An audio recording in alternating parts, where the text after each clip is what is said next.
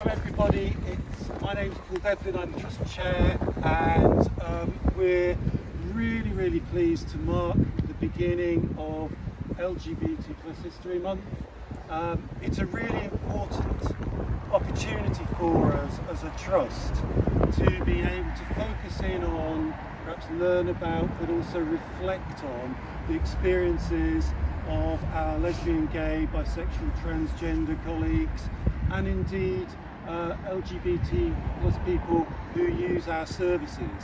And one of the ways that we can do this and be very public about this is to gather and to raise uh, a rainbow flag uh, so that throughout the month it's really, really clear that we as a trust are fully supportive of all our LGBT and also our services. Thank you. Um, I'm Ifti, uh, trust you and those I've not met, and uh, we're going to say very similar things with the right thing to say, I think. So um, it's, a, it's a real pleasure to be here. It's fantastic to get an opportunity to, to meet you uh, early in my role as Chief Exec, and, and I'm also really pleased that we've got, uh, you know, the, the majority of our exec team uh, all here um, because actually for me what this is about is is marking our commitment to um, our LGBT plus colleagues and our local communities. I, you know, I don't know about I about you, but I want to work in an organisation where I can bring my whole self to work, and when I come to work, I don't feel uh, in danger of being discriminated against. I don't feel um, in, in danger of, uh, of receiving prejudice and you know, I, I recognise that we've come away in the last couple of years, but I think we also have to note that as a, a society, as uh, NHS, as, as our organisation, we've got uh, a way to go.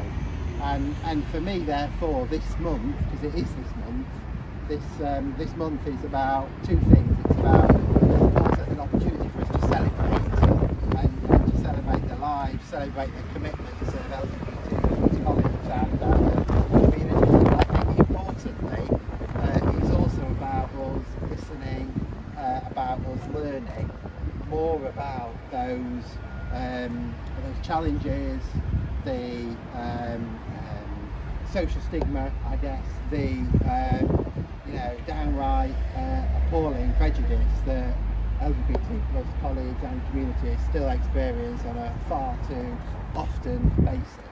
And I think as a, large, sorry for going on, but I'll say a few things.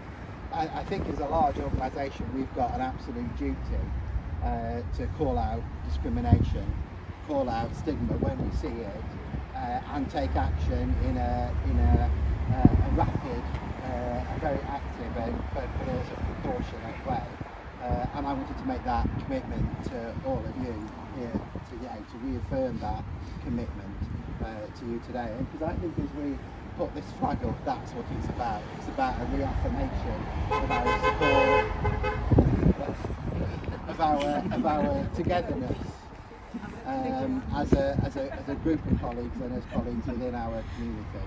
So uh, it's a great pleasure to be uh, part of the flag raising at the start of the month and uh, great to be here as well. Great.